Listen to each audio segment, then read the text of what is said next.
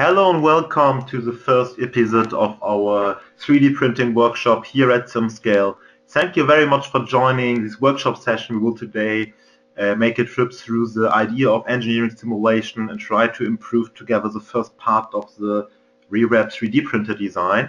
Before we actually start to dive into this very interesting topic, I would like to check if the audio and the uh, broadcasting is working for all of you. So uh, there is a button you have which is called raise your hand and there you can give me a sign that, that something is working or not. So I would ask you to raise, press this raise your hand button in the case you can hear me. Great, I see the first hands.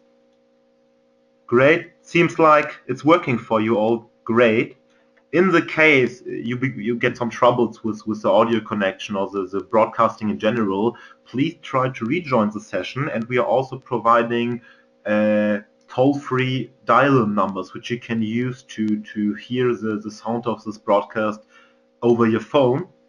These numbers uh, are included in the email you got some days ago, and there's also alternative to get access to the audio of this broadcast. Great. Yes, and first of all, maybe let's just take a, a rough overview about uh, yes our current session and the next sessions we will have together. As I mentioned, the idea of, of this workshop series to, to introduce you all to engineering simulation and to show you how you can use this knowledge later on to improve your products like 3D printers.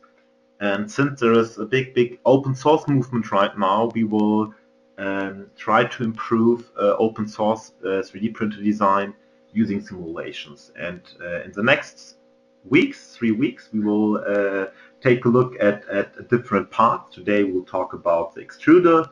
Next week we will investigate the vibrations of the printer frame. And the March 3rd of March we will try to optimize the cooling airflow through the printer. printer. And our today's agenda is first of all I will give you a, very crisp introduction to some fundamentals of 3D printing, which are important to understand. On the one hand, the physics of the simulation we will perform later, but also to understand why or how the simulation can help us to improve our product. Later on, we will together set up, the, uh, uh, do the simulation setup on the SimScale platform, discuss a little bit about the results, and I will present a homework assignment to you which you can do to qualify some to some for some very nice prizes. And finally, for sure, we will have time for question and answers. But first of all, let me introduce myself. My name is Milad. I'm working here at SimScale as a marketing program manager. Therefore, uh, I'm responsible for, for all the new users uh, and my job is to make SimScale or to help that SimScale become the on place for engineering simulation where everybody can learn, use, and perform simulations. Um, I have a mechanical engineering background, majoring also in simulation technology, and I am yes a simulation engineer for more than 10 years. And I yes therefore learned a lot of different tools and, and ways how to use simulation, and I would love to share this knowledge with you today. Um, because a lot of people ask just again, what is the idea of this workshop? Our aim is really to give you uh, some first insights, uh, what simulation can do, how you can use it, and to help especially those people uh, who are um, yes interested in designing their own 3D printer and want to use simulation to improve it. Therefore, we will give you some first hands-on experience with simulation, and um, it's a very good introduction. Nevertheless, this is not a detailed training about simulation theory. If you're really interested in the fundamentals of, of simulation codes and tools, uh, there are a lot of very good books I could recommend to you. Or in the case you're a student, I'm quite sure that university is also offering courses about numerics or computational mechanics. And this is also not a detailed training about the practical generation in general, um, since this is very focused on drones. So in the case uh, you really want, uh, let's say, longer introduction to simulation technology in general or how to use SimScale for your daily work, we are offering for this a professional training. Uh, and you guys can also win this free professional training with a value of 500 euros. Uh, and the only thing you have to do for this is submitting your homework for the all the three sessions. We will later talk about how to do that. And this is a really great chance. So I would really love to see a lot of homework submissions. And because a lot of people ask us why we are offering this workshop, the first reason is that uh, we are a very young company and we want to, to spread out this, this word to, to bring simulation to every engineering uh, uh, workspace in the world and therefore it's a big pleasure for us just to give the introduction to interested engineers and designers and users. On the other hand, we would also appreciate to get your feedback. What is, is something you very you like very much about the platform? Something you you think we should improve? Just let me know. And we would also love to see a lot maybe of, of nice new uh, public projects. Um, so if you have an idea, just uh, send me the link and we will also promote all your ideas and your projects. Yes, now let's talk a little bit in general about this workshop series before we actually start to dive in into the topic. As I mentioned, this workshop series is, is based on three one-hour online webinar sessions like this. After every session, you will get an optional homework assignment and also some resources and help for this homework like tutorial, etc. And when you do all this homework assignments, you submit them all, then you can qualify for a free professional training uh, with a value of 500 euro. And therefore, you just have to share your homework using a, a kind of form where you just copy the link of your project and, and, and your email address. And later on, I, I will also show you uh, how to share your homework Yes, and there were a lot of questions which were asked a lot of times in the past. So first of all, will this workshop be recorded? And the good news is yes, we will record all the sessions and provide you with them uh, after the session. Um, also, a lot of people ask me if they have to start to simulate during the session, and that is not the case. So please just listen, ask your questions, and later on you will have more than one week time to submit your homework. Uh, if you want to know how you can simulate, you just have to wait on it. I will show it to you. And in the case you need support, there are a lot of different opportunities. First of all, we have our forum. And in our SimScale forum, there's a special section just about this workshop series where you can ask all your questions and you will get their immediate help. And this is also the first place where you should go if you have troubles with setting up your simulation. And if you want to learn more about the topics we're covering here, just consult our, our documentation, our forum, and the lot of other resources uh, we are providing to, to learn simulation. Yes, and first of all, 3D printing um, is a very, very uh, uh, big topic, and it's very important to know some fundamentals. Therefore, maybe first of all, I would like to introduce to you the 3D printer we're talking today about, and how is 3D printers working. So you may have heard about 3D printers in the past, and this 3D printing technology is it's not really, really new. It's used for more than 30 years now in industry. And in the last years, there was a movement called the RepRap movement, and they started to design and publish the first open source 3D printing concept. So here you can see six different versions or, of products which were developed within this RepRap project. These are all 3D printers, and all these 3D printers are, are based on melting plastic. And you can see there's a lot of different ways how to, to build such a printer, but basically all of them are sharing the same function principle. And today we will try to improve the so-called Mendel printer, which is uh, also a 3D printer out of the RepRap project and uh, step by step we will improve several parts of this printer. And this RepRap project is really awesome. You should check it out. It's www.reprap.org, and there you can also access all the blueprints, the documentation, if you are interested to build such a printer yourself. And the greatest thing about this printer is that it's duplicating itself. It's, if you take a closer look, you can see here that these printers are all very have very very very simple simple uh, design, and uh, in the end, all the parts you can not buy in every store can be printed uh, with the printer itself. So you can reprint your printer.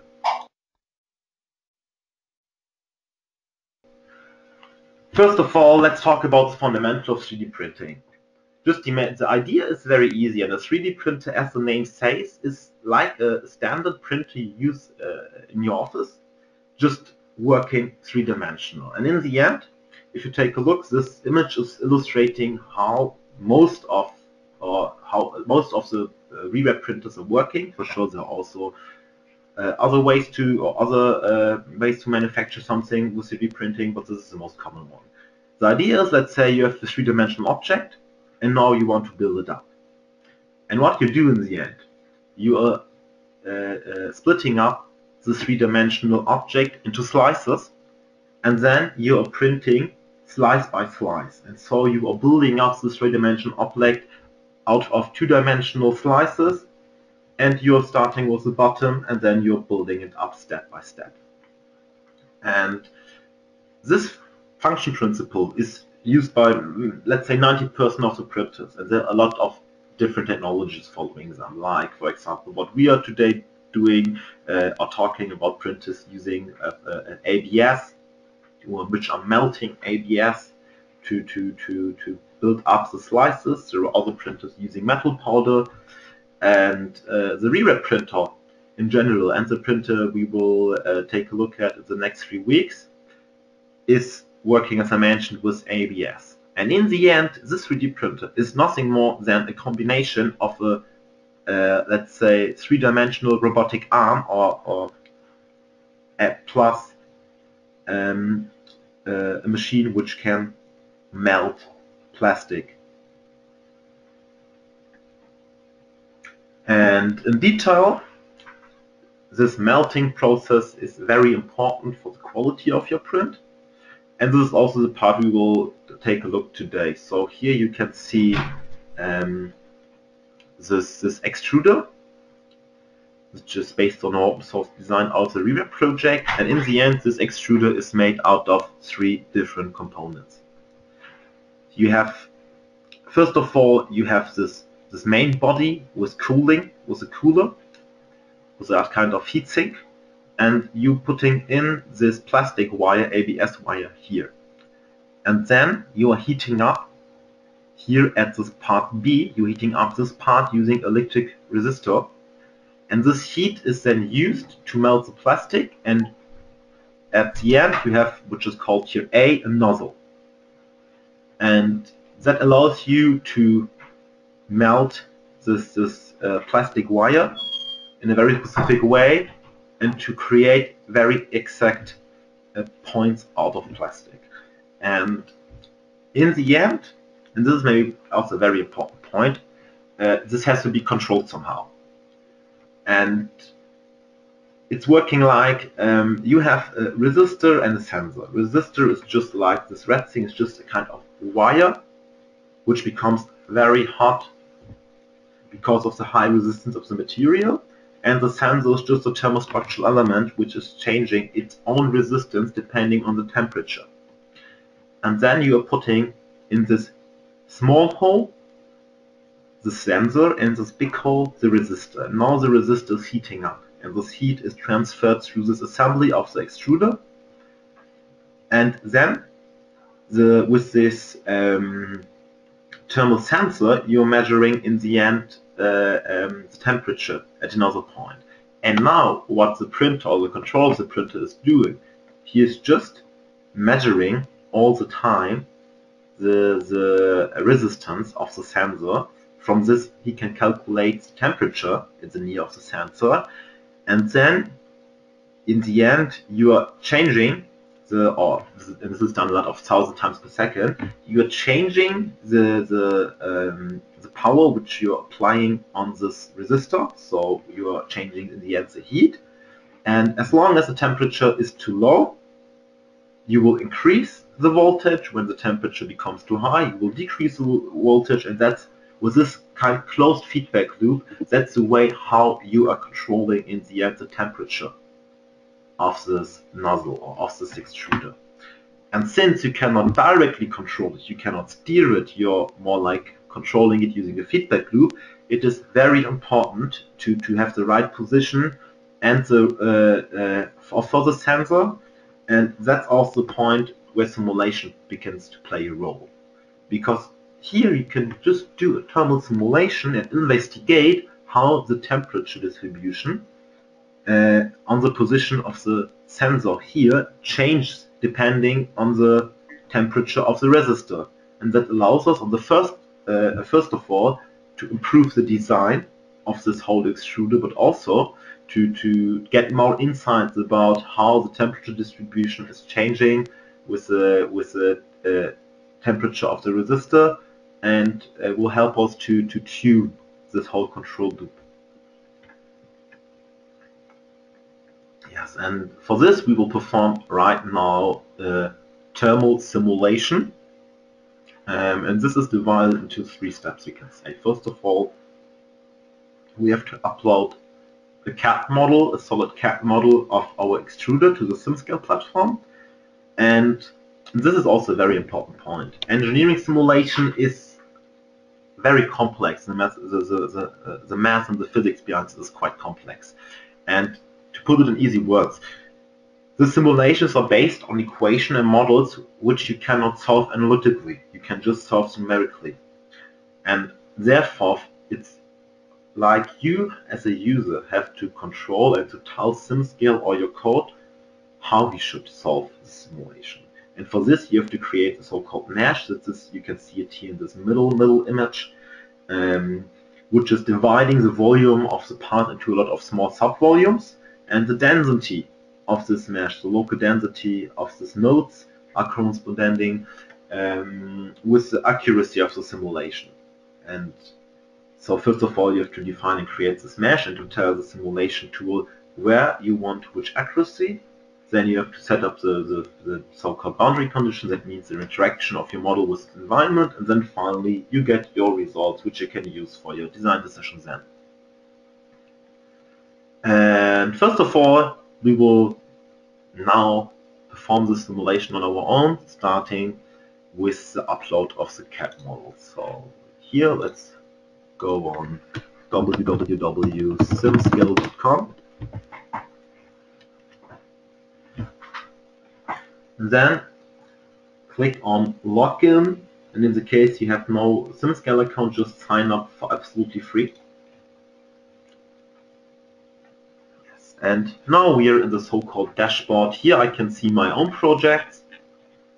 Clicking here on public projects we can also see all public projects of other users.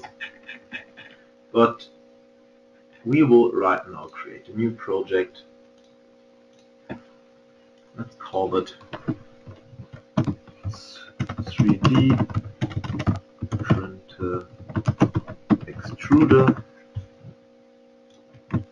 Read the description.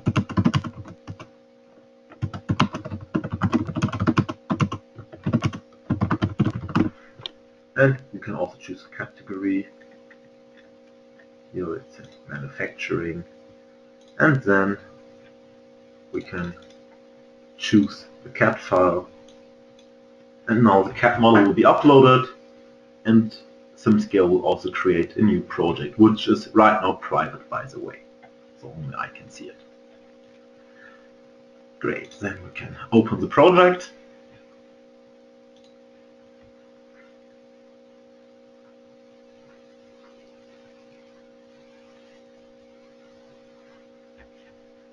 That sometimes can take a second and now here is the 3D model of our extruder. And here now you can see the different parts which I was talking about. This is this main metal body. Here we have this um, this cooler. This the reason why we need this cooling, by the way, is that we want to have a high but very homogeneous um, heat distribution in the near of the nozzle but we don't want to have a high temperature far away from this nozzle because that can create problems. Because you know this ABS wire is not like uh, completely strong and then melting. It's more like a process. And if the temperature is too high it can become um, a problem. And then you get some melting processes too early. And if the distribution is too bad or too cold it will not melt right. So it's very important to have here the right distribution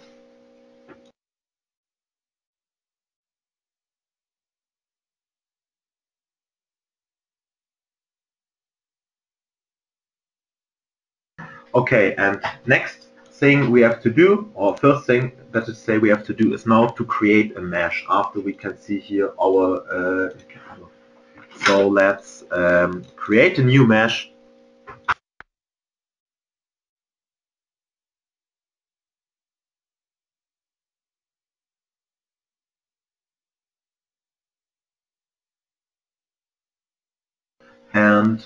first of all what we have to do is to choose the base so the geometry we want to mesh and as I mentioned the role of this mesh is in the end to define uh, where we want to have a high resolution for the simulation. So next we have to choose uh, um, a meshing operation we want to perform. And here we will choose the so-called fully automatic tetrahedralization.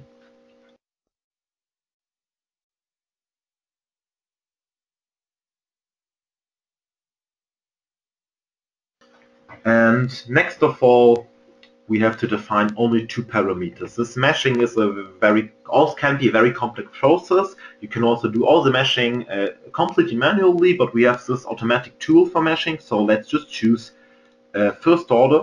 This is we not talk about more detail about the numerics. You can just leave first order.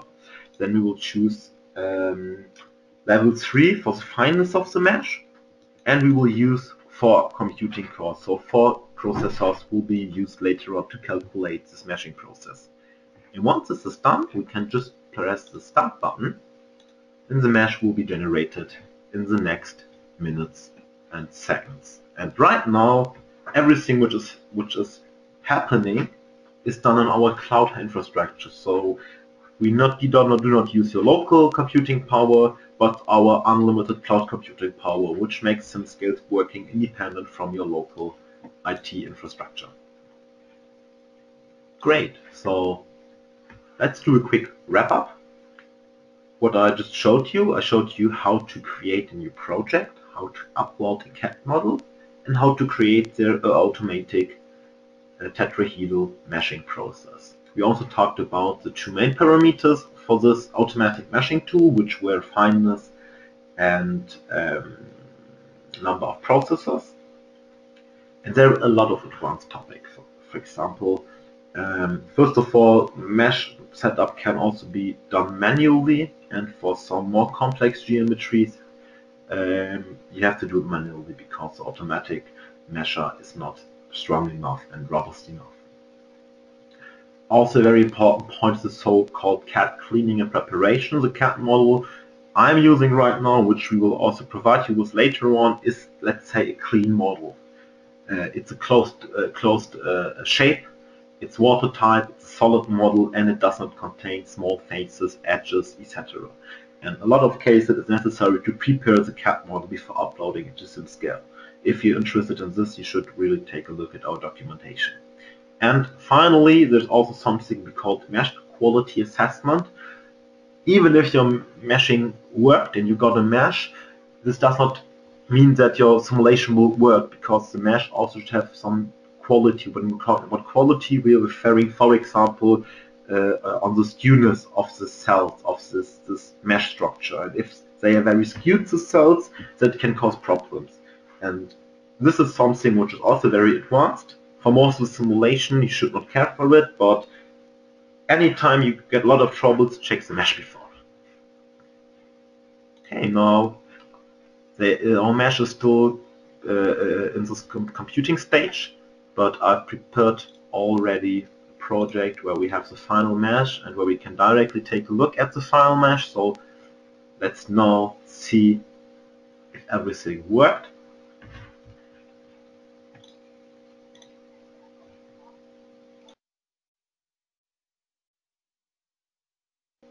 And here you can see the mesh now and every solid body was meshed on its own so we can also take a look on specific parts of the mesh.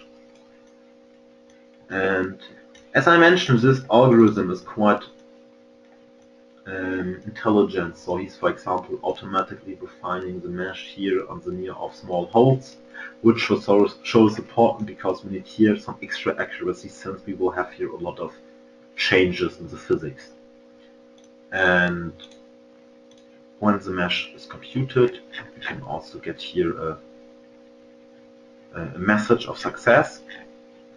And there's also a tool you can use for take a look inside the mesh which we call a mesh clip filter.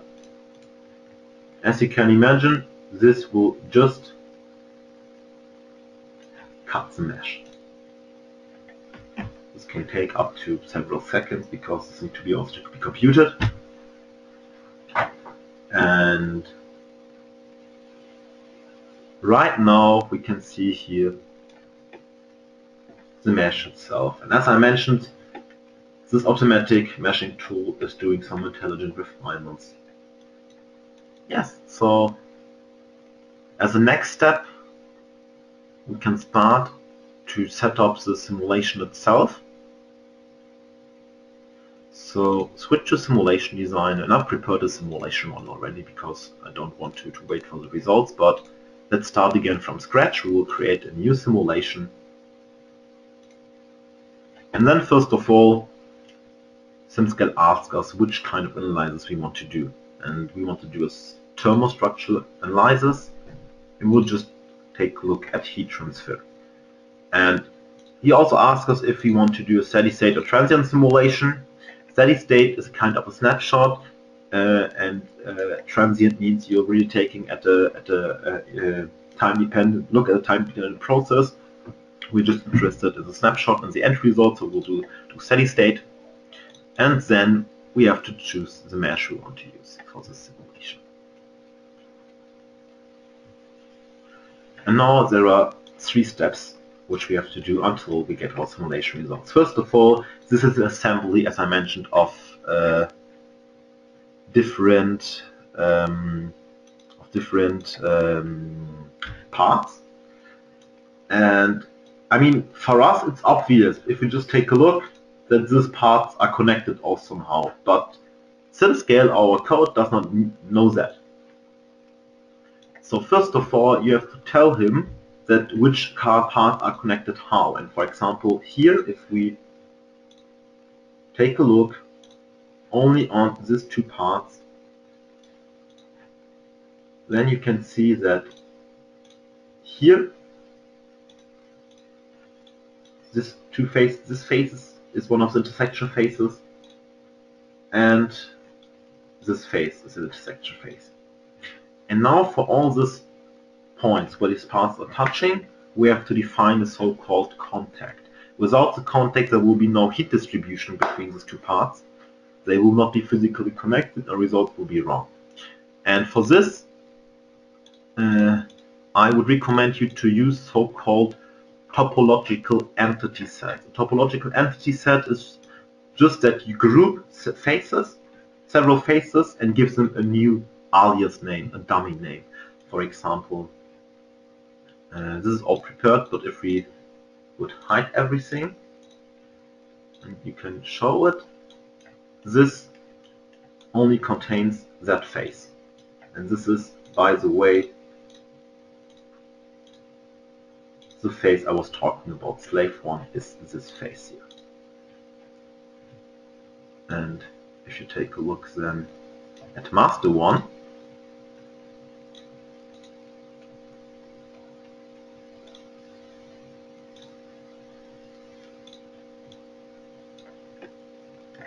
here. This is where the nut is connected.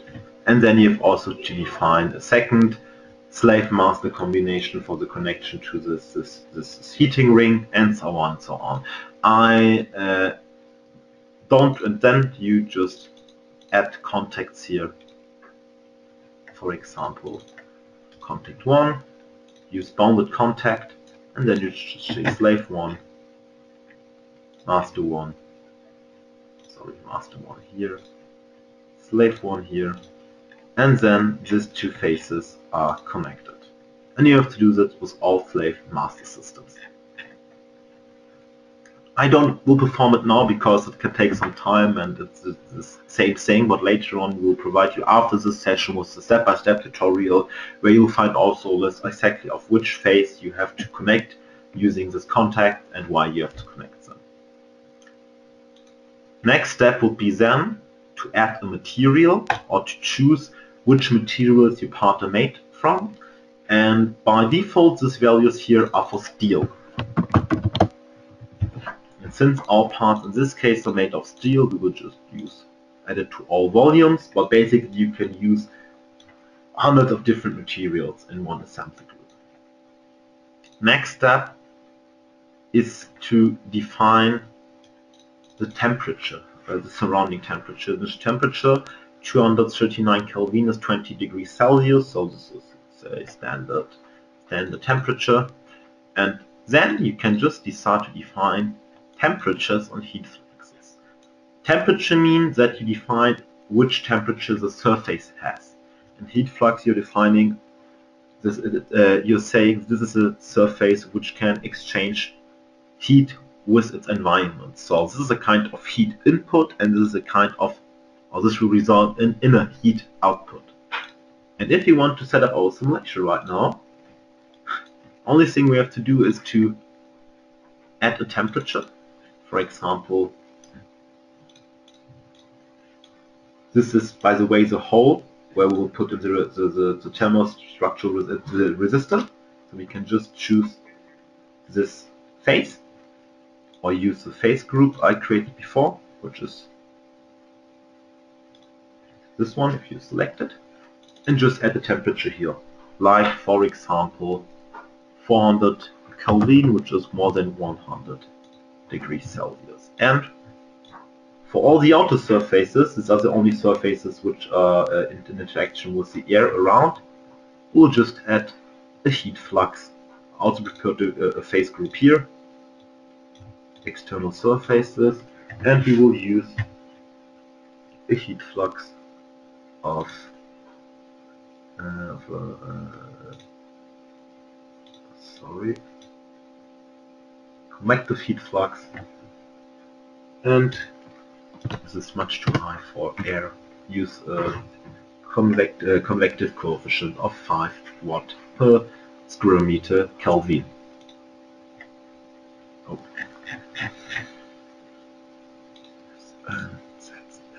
yes. Finally, don't have to touch the numerics. We go now set up the solver. Here we can decide on the number of steps. We'll just do one step. We will use four cores and define a maximum runtime of one hour.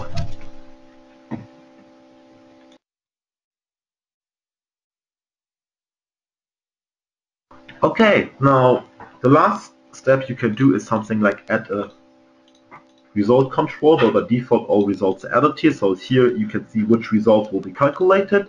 And finally you just have to create a new run and then you can start the simulation run. So let's do a quick wrap up. I showed you just basically what topological sets are so that you can connect or group several surfaces. We then talked about contacts, which are very important to tell SimScale which parts are connected how. And without those contact, you will also have wrong results for the for the heat distribution. Then we also discussed, or I showed you how to define a material how to apply it to the volumes of your simulation. And then we talked about the initial conditions, which is something like, let's say, the, the initial state of a simulation, and about the boundary conditions, which are in the end defining the interaction between the model and your environment. Finally, we did some solver setting. We choose the number of processors we want to use, and then we can start the simulation. And there will also be advanced topics we could talk about, like transient simulations, numerical solver setting, and advanced solver settings. But since this is really hands-on and not very important for most of the cases, uh, it makes more sense to, to, to focus first on the really fundamental things. Right, after you create a simulation run, you can just start it. This will take up to 10 minutes, therefore I already prepared a simulation result here where we have exactly the same boundary conditions. And when your simulation is, is, is finished, you just get a notification. and then you can first of all take a look at the so-called solver log. And the solver log shows you what in the end the code is doing. Here you see that the job is finished and the size of your result. And then you can switch to our online post-processor. And post-processing means in the end that you are analyzing the results uh, uh, of your simulation. This can be done with in the SimScale platform web-based or also locally. So first of all, we have to choose the simulation run. I've prepared two different runs at different temperatures. Uh, and if you click on solution fields, then you get access to the 3D simulation results.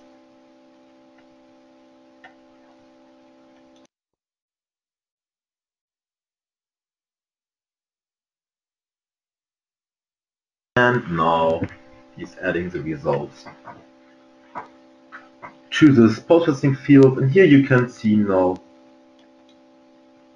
the simulation. First of all we have to change we can change what we want to, to visualize. For example, we want to visualize temperature. You can see here now the temperature distribution.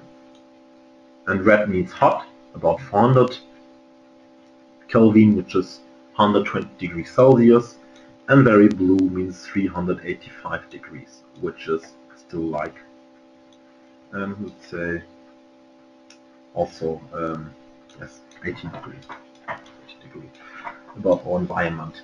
And here you can really see how the heat is distributed within this part. And then you can, for example, add a filter like doing a clip or a cut, a cut and then we can cut through this solid part. For example, let's say we want the y-axis as a normal. Then we just have to change the normal here, apply it, and then we can make the rest invisible, and then we can take a look inside this part here. And then it's the same, you can just, for example, change the temperature.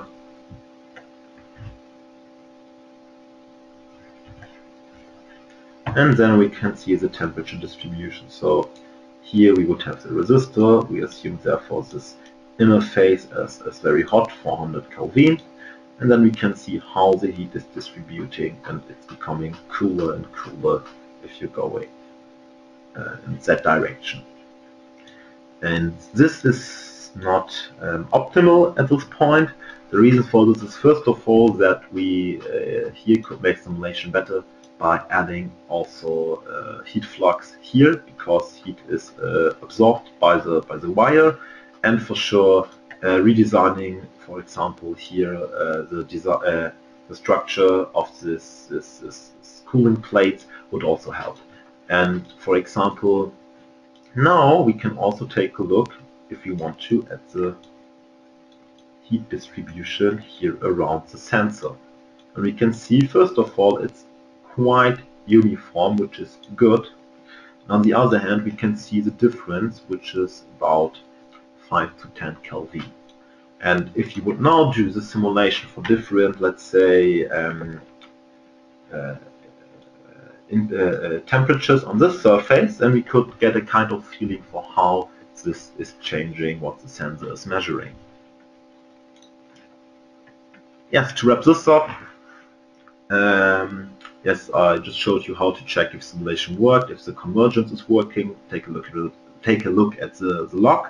We also talked about slices and cuts, um, but this was just a very rough general um, simulation uh, post-processing uh, so we could do a lot of more things like derivate additional physical quantities. We could do two-dimensional plots showing how the temperature distribution is changing within the material. What would here maybe also make sense is something like calculating average, average temperatures on surfaces.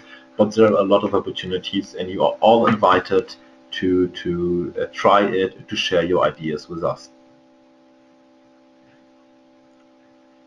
Great. Okay, so two things. First of all, I would like to discuss your homework assignment with you.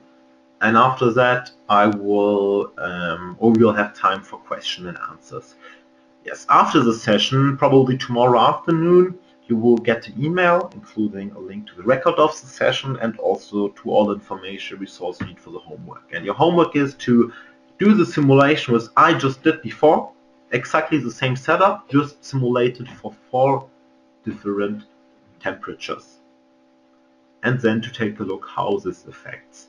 So level 1 is to create the tetrahedral mesh, which is very easy as I showed you, and level 2 is to set up the simulation for four different resistor temperatures. When you've done this homework, we will provide you, by the way, with a very detailed step-by-step -step instruction. So this is really not easy, but everybody can do it.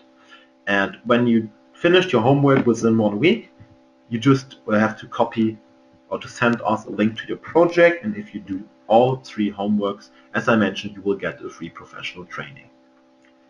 Okay, great. Then it's time now for your questions. If you have any questions, please just write them into um, the, the question box and I will answer them step by step.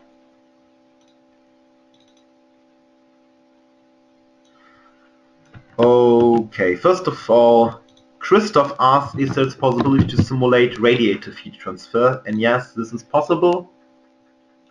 Um, you maybe saw it during the um, boundary condition definitions that you can hear for heat flux, for example. Uh, also choose radiation. And there are also some different uh, options for for the for the um, uh, let's say uh, heat source. For example, you can change here the temperature and also ramp the value and so on. I hope that answered your question. Next question is by Michael. I hope I pronounced the, the name the right way, sorry. And you want to know uh, how to simulate effect of fan blowing on the cold end. And that's a very good question. In the last stage, what you are talking about it would, is, is CHT, so it's interaction between a, a heating process and the flow process. And what we did right now, we just assumed a uniform value for the convective um, coefficient on the all external surfaces. If you want to to uh, measure the let's say the, the effect of blowing on the cold end, the first step would be to use a different flux, for example, in this area here. And later on, you could also do is a fluid flow simulation of the cooling process and couple it with this thermal simulation. Sebastian wants to know if it's possible to measure the temp temperature in the sensor area. And Sebastian, yes, this is absolutely possible. There are different ways for this. Um, for example, let's do it locally because all the post-processing uh, I did now in the cloud, we can also do it uh, locally let's just download first the results.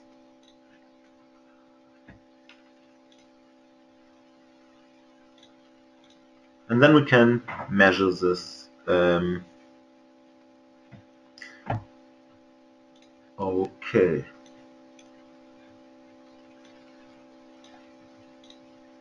Then I will just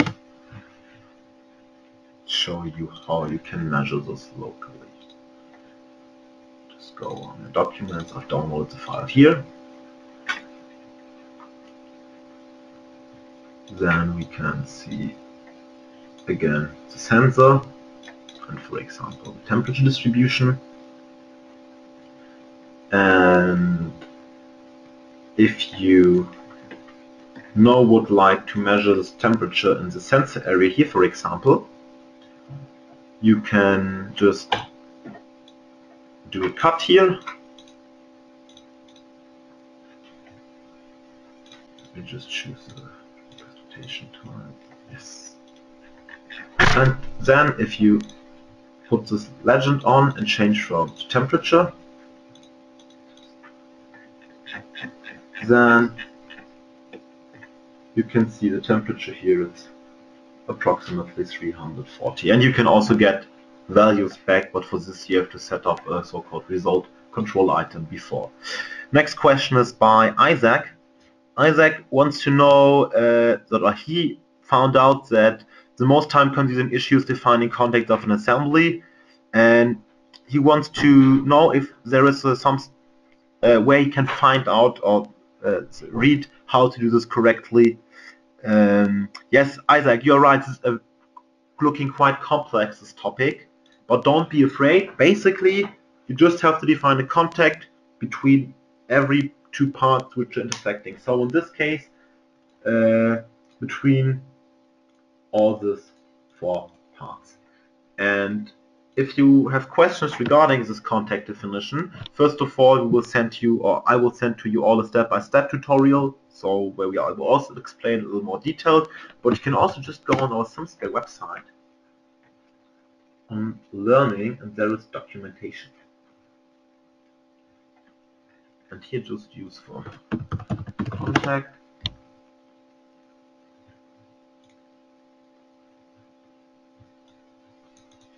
and then step by step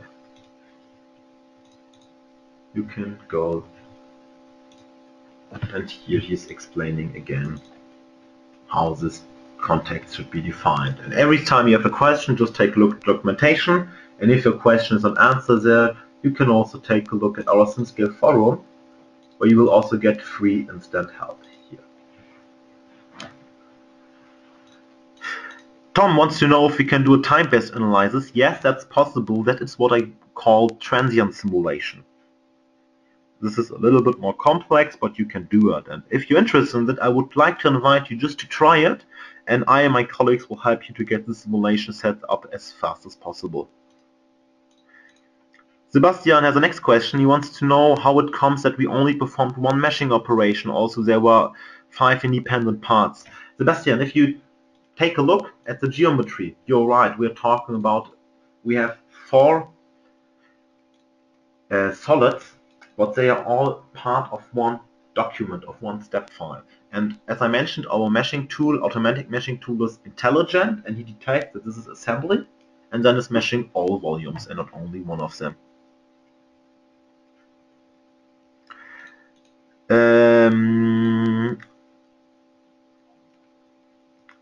Thorsten wants to know if it's possible to change the heat link between two components. Yes, that is basically possible. Right now we are assuming that there is, let's say, a perfect contact between them.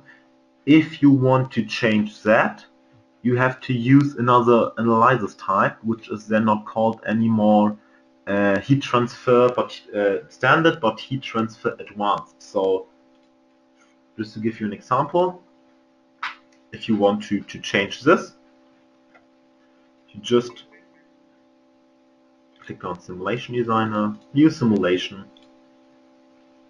then Thermostructural Advanced. And then you can also make it time dependent here.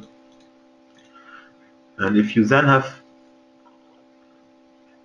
uh, contacts, for example, um,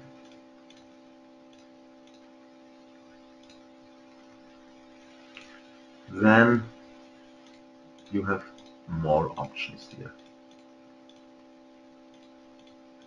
And you can also change for sure the um, or just play around with the material properties of the parts.